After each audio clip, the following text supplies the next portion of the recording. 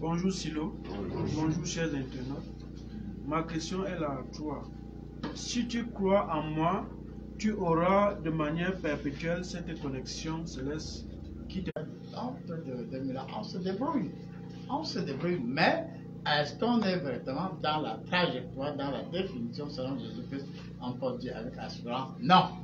Mais les questions, même sur le plan de la physique pure on sait que si on parvient à remoduler le comportement d'un pour cent de la masse en électrons, c'est-à-dire on a un atome, et si on arrive à, remoduler autrement 1% des électrons qui tournent autour, qui gravitent autour de l'atome, le comportement total de l'atome changera, c'est-à-dire qu'un pour cent dans certaines situations naturelles, on retrouve la capacité de toucher les 99 autres.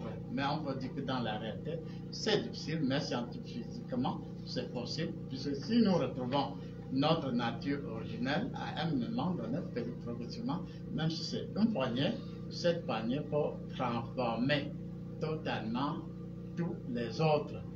Et à partir de là, nous pouvons dire qu'à certains moments, ce sont nos imagines, ce sont nos préjugés qui nous donnent l'impression que c'est tout mieux comme ça, c'est tout mieux de cette telle ou telle façon.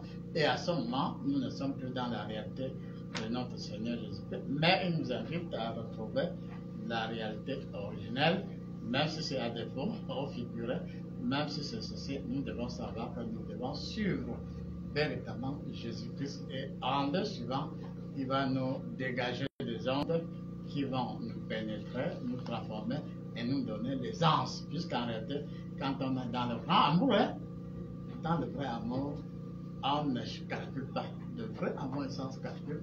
Le vrai amour est naturel, il est instantané. On ne, on ne réfléchit pas de midi à 14 heures, mais on a l'impression que de nos jours, l'amour est la chose la plus difficile.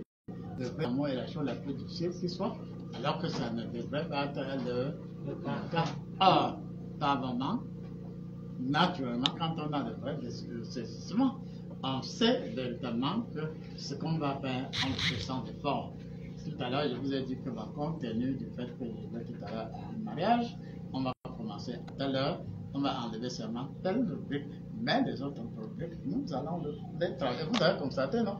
On va les travailler en profondeur parce que Jésus sait que oui, il a un empêchement, mais ce n'est pas parce qu'il a un empêchement seulement qu'il va. Un, il a dit qu'il doit être à telle heure, à cette heure, et c'est son habitude. À cette heure-là, il est là. Et il sait qu'à telle heure, il va, disons tout à l'heure, il va se déplacer, puisque là où je vais, c'est pas loin. Et il va faire. À ce moment-là, quand il dit qu'il peut agir avec sans la volonté du Père, non, ça n'a rien à voir avec la petitesse. Vous comprenez? Vous comprenez ça dans son vrai sens? Oui, mon Père, tu as décidé que ça doit être comme ça. Et j'applique comme ça? Je n'ai plus à te demander puisque je sais comment ça doit être. Je n'ai plus à te demander puisque tu as défini ce qu'il faut que ce soit. Et par conséquent, j'agis maintenant et comme je veux. Notre canon, ça va à nous. C'est le canon de, de Dieu. Il rappelle qu'il y a la Pentecôte qui se prépare au canon. Il rappelle qu'il va choisir quelques cinq personnes à qui il donnera un entraînement très très spécial.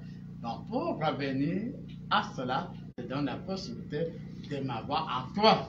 Et comme tu as dit vers la fin, ce n'est plus moi, mais c'est Jésus qui est en moi. Et c'est la même disposition qu'il faut